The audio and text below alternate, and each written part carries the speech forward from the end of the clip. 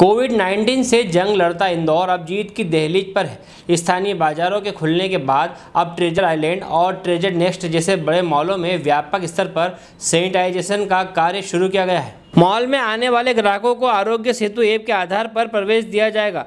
वहीं social distancing के लिए यह जगह चिन्हित की गई। है वही ग्राहकों की संख्या निर्धारित रहेगी। मॉल प्रशासन ने बताया कि गवर्नमेंट के नॉर्म्स के मुताबिक खोलने की प्रक्रिया का पालन किया जाएगा। साथ ही आने वाले ग्राहकों की सुरक्षा का पूरा ध्यान रखा जाएगा।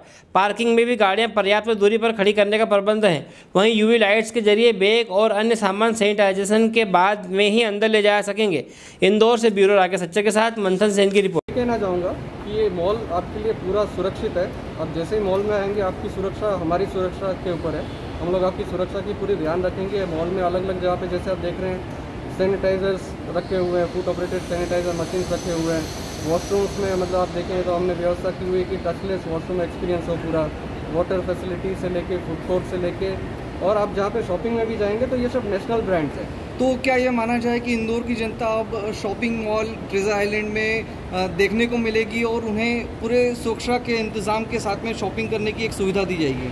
दूसरा एक मैसेज इंदौर की जनता को मैं देना चाहूँगा कि हमने ब्यूरो वेरिटास के साथ में टाइप किया हुआ है। ब्यूरो वेरिटास 140 देश में उपलब्ध है। ये उनका जो ऑडिट है नेक्स्ट मॉल खुलने के बाद 15 दिन में होगा। जब ये ऑडिट होगा तो अगर हमारा जितना भी प्रिपरेशन है, उनको वैलिड करेंगे। उनका ऑलरेडी गाइडलाइंस हमने यहाँ पर इम्प्लीमेंट किया हुआ है। ये मॉल में इम्प्लीमेंट किया हुआ है।